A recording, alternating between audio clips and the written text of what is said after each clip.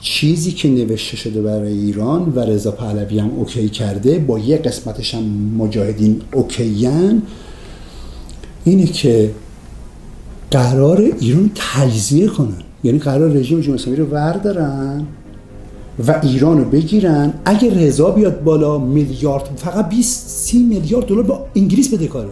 این مرتیکه من به خدا نمی‌دونم فرانسه چقدر بده این فرانسه که هنوز هنوز دانش هم اون دوه. من نمی‌دونم چه خبر اون دو. 80 میلیون در ماه دارن هزینه سایبری رضا پهلوی حقوق داره میده. یعنی کشور بگیره اگر مادر تالا میره شبا خواهرت هم باید آماده کنی پول کجا بیاره؟ مجاهدین خلقم بدهکارم حالا از رضا پهلوی کمتر ولی بدهکارم واقعا. چجوری اینا تونستن سی هزار تا دفعات دوام بیارن؟ پس کلا من تنها کسی هستم که بدهکاری ندارم. من سه پوند بدهکارم به انگلیس. اگه نمی‌دونید بدین. انگلیس ها من گرفت در فرودگاه. من بازداشت کرد.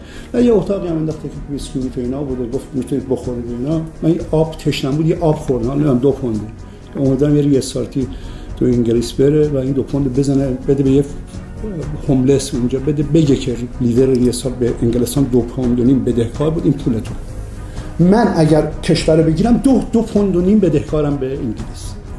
به فرانسه اصلا بدهکار نیستم به آلمان اصلا بدهکار نیستم به آمریکا نه بدهکار نیستم که طلبم دارم من سخن بدهی لیدر عزیزمون رو بدم به دولت انگلستان یه بدهکارم Thank you, my friend. Have a lovely evening. God bless you. Thank you. Thank you.